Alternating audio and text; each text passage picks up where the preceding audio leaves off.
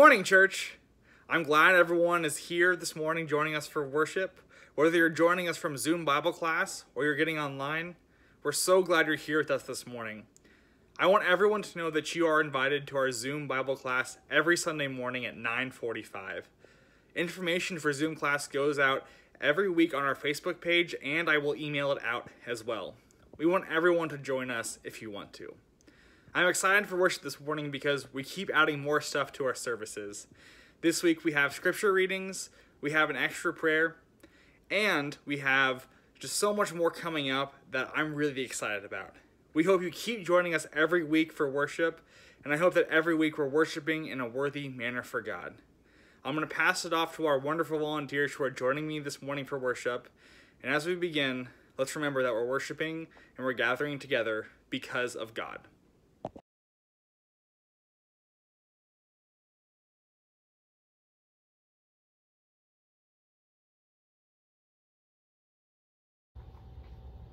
This is Higher Ground, number 539. I'm pressing on the upward way, new heights I'm gaining every day, still praying us, I onward bound. Lord, plant my feet on higher ground. Lord, lift me up and let me stand by faith on heaven's tableland, a higher plane than I have found. Lord, plant my feet on higher ground. My heart has no desire to stay where doubts arise and fears dismay. Though some may dwell where these abound, my prayer, my aim is higher ground. Lord, lift me up and let me stand by faith on heaven's tableland, a higher plane than I have found. Lord, plant my feet on higher ground. I want to live above the world, though Satan's darts at me are hurled. For faith has caught the joyful sound, the song of saints on higher ground. Lord, lift me up and let me stand by faith on heaven's tableland, a higher plane than I have found. Lord, plant my feet on higher ground. I want to scale the utmost height and catch a gleam of glory bright. But still I'll pray till heaven I found. Lord, lead me on to higher ground. Lord, lift me up and let me stand by faith on heaven's tableland, a higher plane than I have found. Lord, plant my feet on higher ground.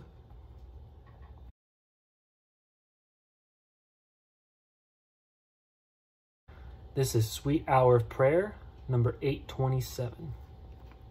Sweet hour of prayer, sweet hour of prayer, that calls me from a world of care, and bids me at my Father's throne make all my wants and wishes known. In seasons of distress and grief, my soul has often found relief, and oft escaped the tempter's snare by thy return, sweet hour of prayer. Sweet hour of prayer, sweet hour of prayer, the joy I feel, the bliss I share of those whose anxious spirits burn with strong desires for thy return. With such I hasten to the place where God my Saviour shows his face and gladly take my station there and wait for the sweet hour of prayer. Sweet of prayer, sweet of prayer, thy wings shall my petition bear to him whose truth and faithfulness engage the waiting soul to bless. And since he bids me seek his face, believe his word and trust his grace, I'll cast on him my every care and wait for the sweet hour of prayer.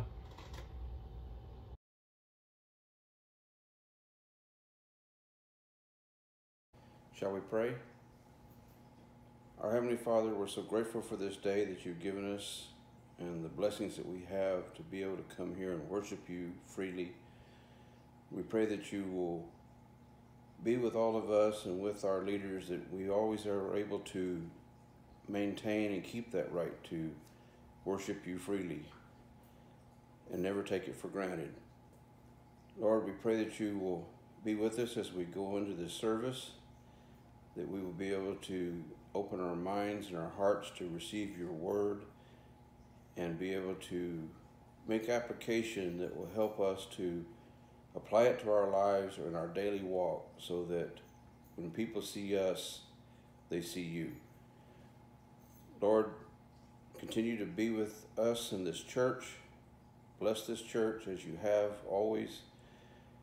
Be with us as we get into our service and may it be to your glory forever. And all these things we ask. In Christ's name we pray. Amen.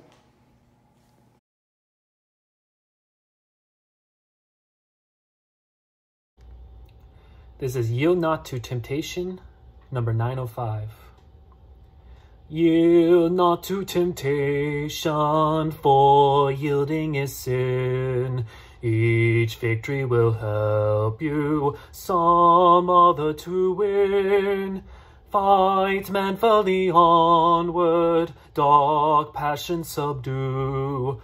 Look ever to Jesus, he will carry you through.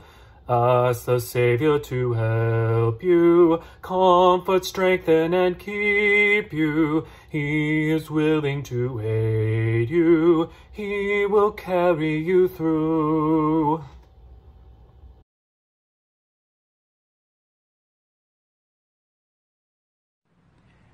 All right, it's time for the Lord's Supper. Would you pray with me? Thank you, Lord, for another day come and participate in this reminder of your Son's sacrifice for us. Let us take this bread in a manner that pleases you. Amen.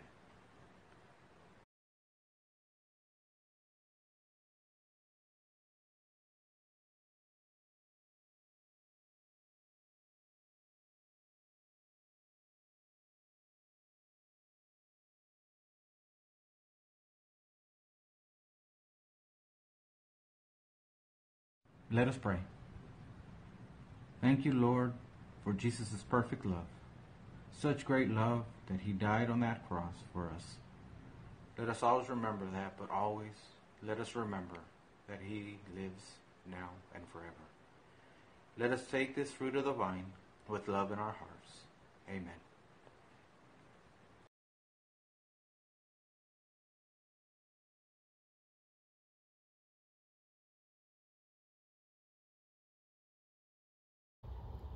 This is Tis Midnight and on Olive's Brow, number 334. Tis midnight and on Olive's brow the star is dimmed that lately shone.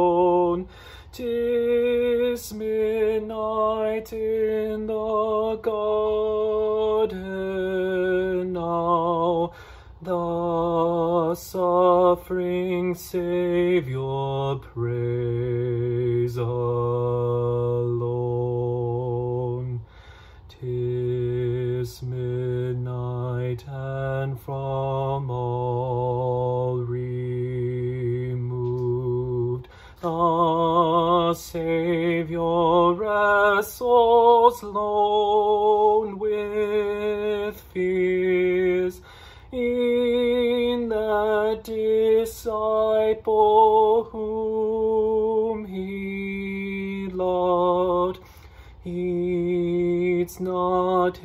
His master's grief and tears.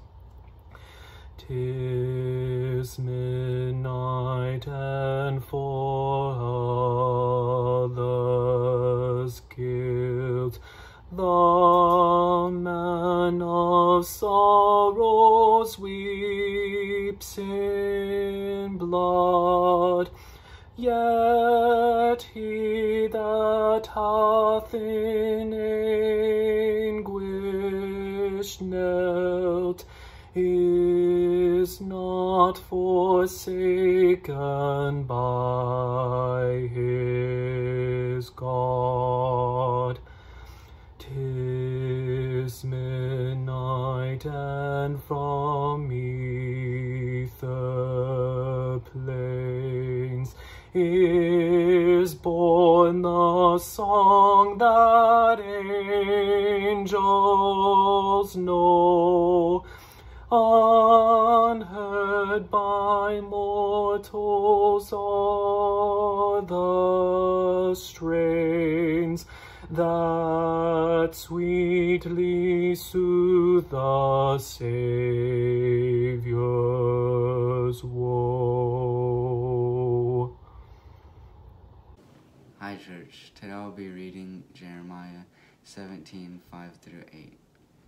This is what the Lord says Cursed is the one who trusts in man, who depends on flesh for his strength, and whose heart turns away from the Lord. He will be like a bush in the wastelands. He will not see prosperity when it comes. He will dwell in the parched places of the desert, in a salt land where no one lives. But blessed is the man who trusts in the Lord, whose confidence is in him. He will be like a tree planted by the water, that sends out its roots by the stream. It does not fear when heat comes. Its leaves are always green. It has no worries in the year of drought, and it never fail, fails to bear fruit.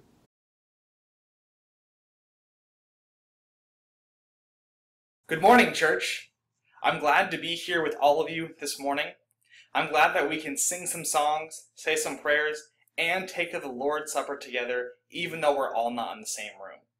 As we begin our sermon this morning, I want to take you back to the year 1998 because it was significant for many reasons. In 1998, it was the year that Google was founded. What started out as a small internet search engine has grown into a vibrant company. They have Gmail, Google Docs, and Google has their own phone. All of it started back in 1998 with this one company. 1998 was a significant year for baseball because it was the year that Mark McGwire broke the record for the single most home runs in a season. He had 70 in one season that broke Roger Maris's previous record of 61. He also beat out his opponent Sammy Sosa that year for the most home runs, and so it was huge for him. 1998 was also the year that Magic Kingdom opened at Disney World. But none of those things mattered because 1998 was the year that the Game Boy Color released. The Game Boy Color was this video game device that was created by Nintendo to beat out its predecessor, the original Game Boy. The first Game Boy was this giant brick and it only came in gray, but the Game Boy Color had a colorful shell and the video games could be played in color. It was a revolutionary handheld color gaming device of its time and I knew I had to have it. And so that year, I begged my parents for one. I asked them before and leading up to Christmas. I showed them pictures. I even prayed and I said, God, please will it that my parents get me a Game Boy Color. If it's in your will, wink, wink, make them get me a Game Boy Color. And so leading up to Christmas, I knew I was going to get it. I knew it had to happen. On Christmas Eve, I could barely sleep because I knew it was coming. I dreamed of playing my Game Boy Color the next morning. And on Christmas, I woke up, got my whole family up and said, We have to open presents right now. We have to do it.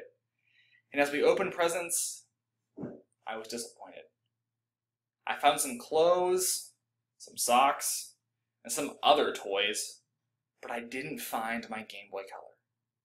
And then I got to the last present. It was a rectangle box, and I held it in my hands and I said, This is it. This is my Game Boy Color. And so I grabbed the wrapping paper and tore it off and found Aladdin on VHS. I was pretty disappointed.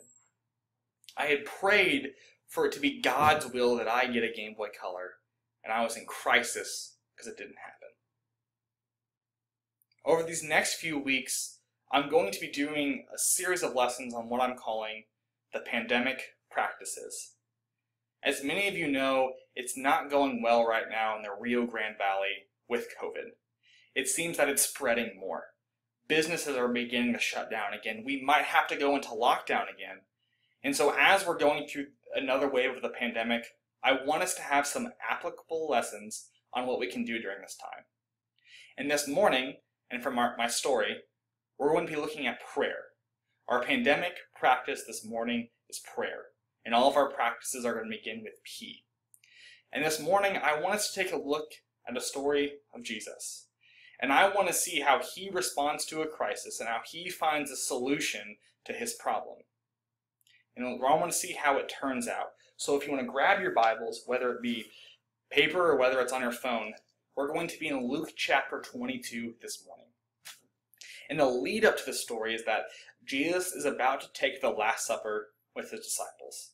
He's gathered everyone together on the intent of having this last meal with them.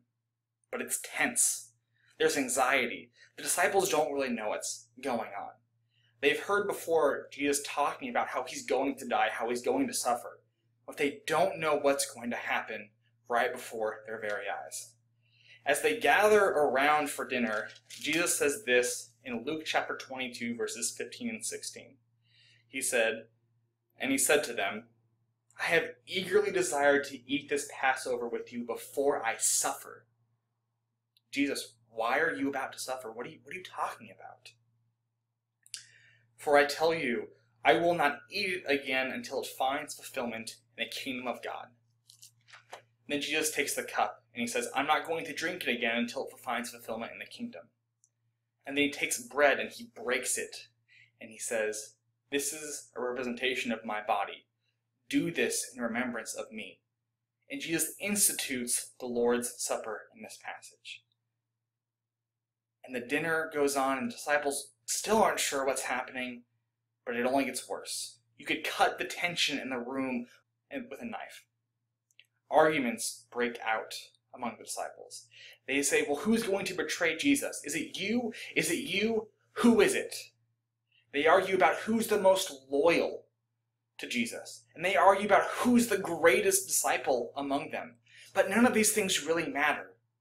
There's so much that's about to happen, and the disciples are full of anxiety and tension and disease. And it makes me think about the disease that is going on in our world. COVID has made us tense. We don't know what's going to happen next. We keep waiting for the other shoe to drop because something worse has to happen. I mean, things can't go too well for too long before we think, oh, well, something bad has to happen to rectify all these good things. We might feel like how the disciples felt after the Last Supper. And what Jesus does this morning in our story, it's really important. So if you want to read along with me, we're going to be in Luke chapter 22, and I'm going to read verses 39 through 42. And this is what it says. Jesus went out as usual to the Mount of Olives and his disciples followed him. On reaching the place, he said to them, Pray that you will not fall into temptation. It says pray right there. I want you to take note of that. It says, He withdrew about a stone's throw beyond them, knelt down, and prayed. Father, if you are willing, take this cup from me. Yet not my will, but yours be done. There's so much that happens in this small section of Scripture. First of all, Jesus takes the disciples to the Mount of Olives and he says, Hey, I want you to pray. Because Jesus knows the importance of prayer. He wanted his disciples to have a relationship with God, to grow with Him. And so he knew all the things that were about to happen. He says, You need to take a moment to pray. And then after that, he goes about a stone's throw from them and he prays himself. The phrase a stone's throw is, well, what it means. It's about how far you could throw a stone. It's supposed to be about 20 to 100 feet. I haven't worked out a lot during COVID, so if I try to throw a stone right now, it might go like three feet. But what Jesus is doing in this passage is he's going out of earshot from the disciples. And it's not because he wants to be rude or selfish or doesn't want them to hear what he's about to pray, but he wants to be alone with God. Jesus knows that shortly after this, he's going to be arrested. He's going to be put on trial. He's going to be beaten and mocked. He's going to be paraded through the city, and then eventually he's going to be crucified. And before all of this, he takes a moment to be with God. And in his prayer, he says, Father, if you are willing, take this cup from me. He's saying, God, if there's another way to do what we're about to do, let's do that. There has to be another option, a different path that we can take or we can go down. God, what else can we do besides what I know your plan is? And he's at a crisis and he's praying. He says, There's got to be another way. Yet he ends that prayer, that part right there. He says, Not my will, but yours be done.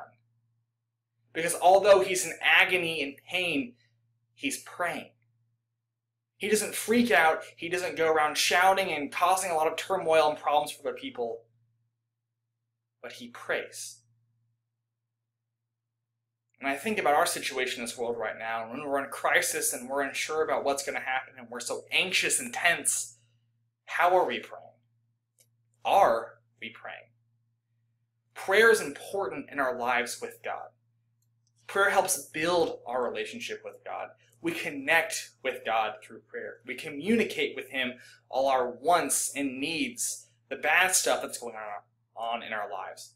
But we also communicate with Him the good stuff. We praise Him. We thank Him for when the things we pray about, when He answers them, we thank Him and we say, God, you are a good God. And so this morning I want us to be praying. I want us to be continually praying during this pandemic. And no matter how things get good or bad, let's be praying this morning. But also, I want us to be praying for God's will in everything. That as events unfold, we're praying, we're saying, God, if this is your will, let it be. But help us through it. Let it be your will. As Jesus prayed in the garden, we need to pray as well. Not my will, but yours be done. And when we say, if it's in your will, let it be done, we have to mean it. Because sometimes when we pray that, we don't. When we pray for God's will, we have the intention in mind and we know how we want God to answer our prayer. When we pray, often there are two outcomes. If we pray to God and He answers our prayer, we're excited. We're jumping up and down for joy, and when we pray to God, we say, Oh God, thank you so much, and then we move on. But if God doesn't answer our prayer in the way we wanted, we say, God, I know I said if it was in your will, but you didn't answer my prayer. You didn't do what I wanted you to do, and we get upset and we get frustrated. But even as Jesus is praying in the garden, and he's in pain and anguish, this is how he's reacting. Let's read verses 44 and 45. And it says in verse 43 An angel of heaven appeared to him and strengthened him. And being in anguish, he prayed more earnestly, and his sweat was like drops of blood when it came to the ground. Jesus is in so much pain, and he's hurt, and he, all these things are happening that his blood vessels are bursting. He's sweating blood. Under this condition, it's known as hematidrosis because Jesus is in so much pain and agony, his body is just bursting. It's exploding. But he doesn't stop praying. He's accepting the outcome of what he's praying, whether it's good whether it's bad. And he doesn't get up in anger when he knows what's going to happen. But he prays harder. He prays even more earnestly. He's on the ground saying, God, whatever happens, it's your will. If there's another way, let's do that, but it's your will that's most important. It's what you want that's most important. And I think that's a great prayer that we should be praying right now is God, I don't know what's happening. God, I don't know what's going on, but you must be in control. We need to be praying for God's will. As our schools close down, and we don't know if our children, our grandchildren, if they're going to be able to go back to school, we need to be praying for God's will. As businesses shut down, as we have to social distance and wear masks, we need to be praying for God's will. If we have to go into lockdown and we're under isolation and we're depressed, we need to be praying for God's will. Because sometimes I think when we pray in God's will, we're not saying, God, not your will, but my will be done.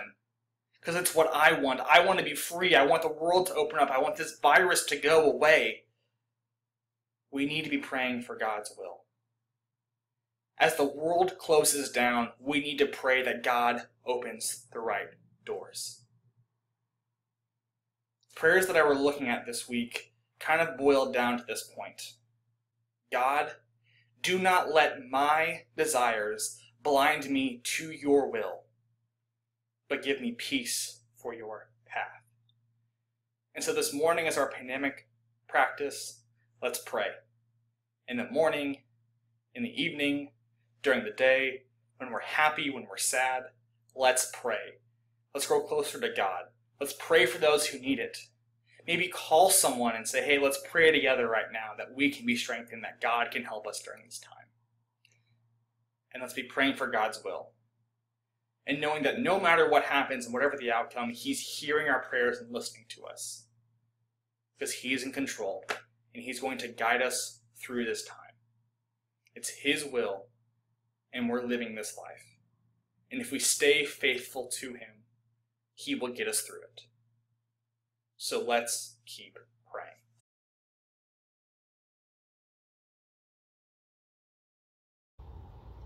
This is I Need Thee Every Hour, number 837. We will sing verses 1, 2, and 4. I need thee every hour, most gracious Lord. No tender voice like thine can peace afford. I need thee, oh, I need thee. Every hour I need thee. Oh, bless me now, my Savior. I come to thee. I need thee every hour. Stay thou nearby.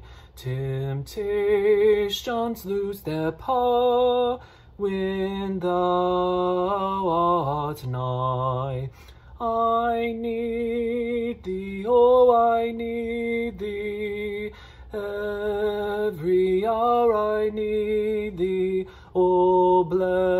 bless me now, my Savior. I come to thee.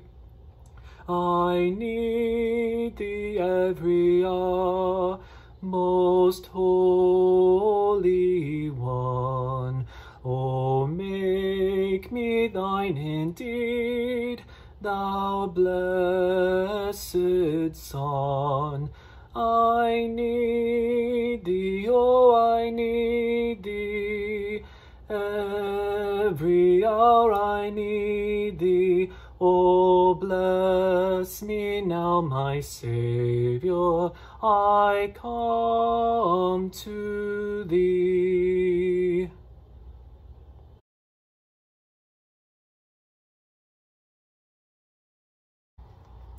This is Be With Me, Lord, number 778. We'll sing the first three verses. Be with me, Lord, I cannot live without thee. I dare not try to take one step alone. I cannot bear the loads of life unaided. I need thy strength to lean myself upon. Be with me, Lord, and then if dangers threaten, if storms of trial burst above my head, if lashing seas leap everywhere about me, they cannot harm nor make my heart afraid. Be with me, Lord, no other gift or blessing thou couldst bestow could with this one compare. A constant sense of thy abiding presence where'er I am, to feel that thou art near.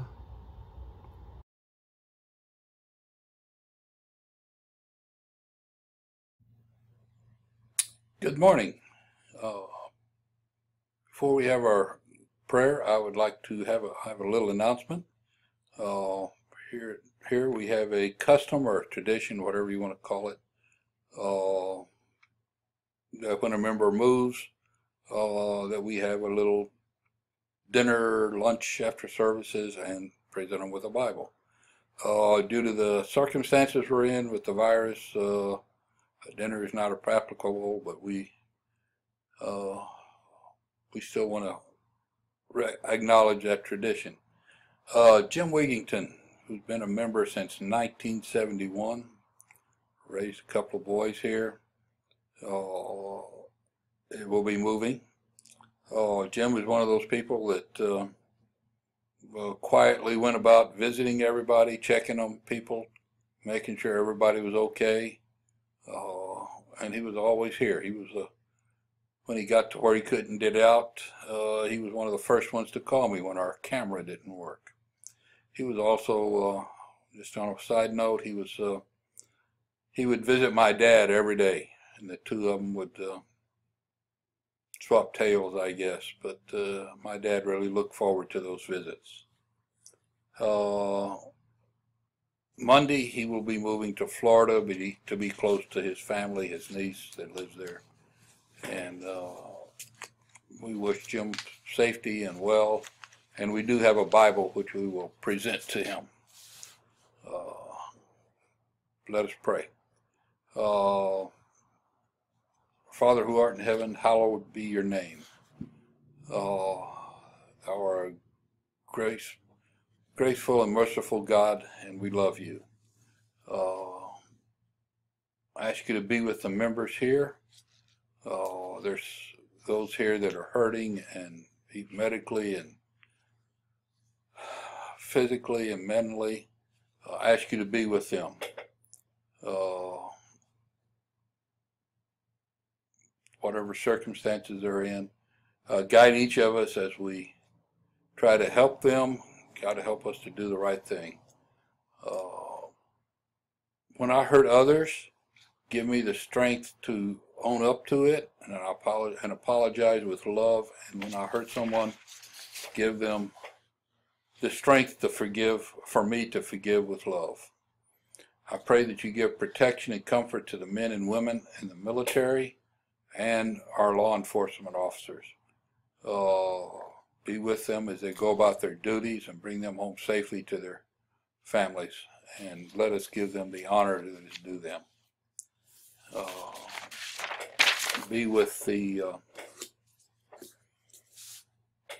first responders, the ambulance drivers, and the uh, medical people, the nurses, and the doctors, and all the people that maintain the hospital. Be with them as they go about taking care of the rest of us. Uh, keep them safe Oh.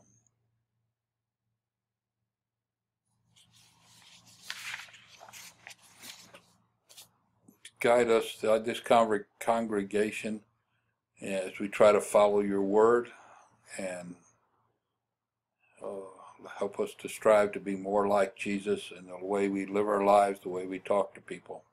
In Jesus' name, amen.